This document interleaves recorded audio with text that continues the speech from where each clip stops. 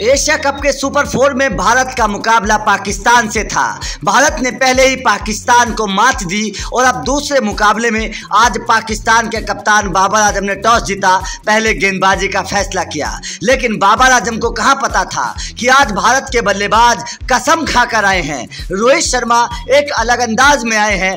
के राहुल एक विस्फोटक पारी खेलने के लिए आए हैं।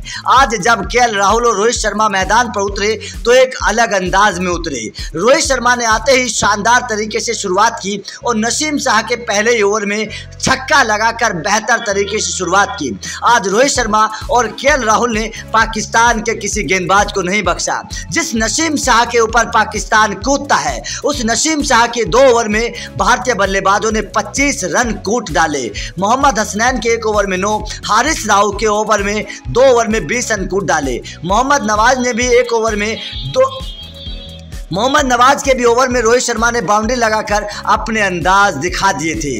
रोहित शर्मा वैसे तो बड़ी पारी नहीं खेल पाए, लेकिन 28 रनों की पारी में रोहित शर्मा ने भारतीय क्रिकेट फैंस का दिल जीत लिया। केवल 16 गेंदों पर रोहित शर्मा ने ताबड़तोड़ अंदाज से 28 रन ठोक डाले, जिसमें तीन चौके और दो गगनचुंबी छक्के थे।